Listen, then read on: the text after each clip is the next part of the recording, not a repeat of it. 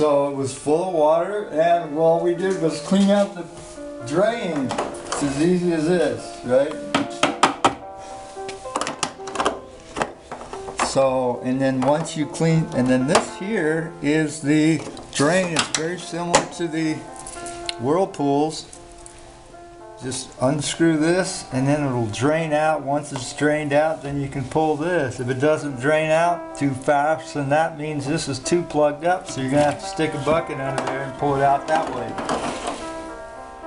And that will solve your Daewoo problem. Die woo woo. All right. So you have to go right side up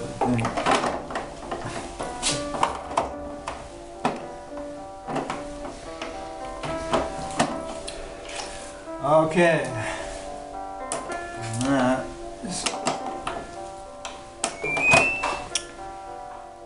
Because what I like to do is sometimes it'll come on and once it heats up a little then it won't come on again so we gotta just make sure it comes on the second time and Do you want me to get it on high heat? Like get it Uh, hot as possible? Or does that matter? it doesn't matter. Yeah. And so this vent here, see. That vent there, I would kind of like to see it at one straight shot going out rather than curling it around.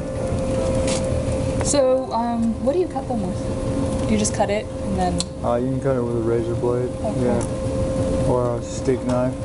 Okay. Actually, I got him a nice knife for his birthday. Uh, we'll okay, yeah, yeah. If you want, I can do that now. Oh, okay, cool. Yeah. This here, he wants to see just a straight rather than a curve. So I'm gonna bring him Oh. with it. So either your knife or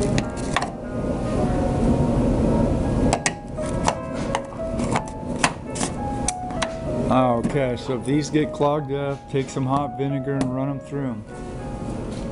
I just die Daewoo.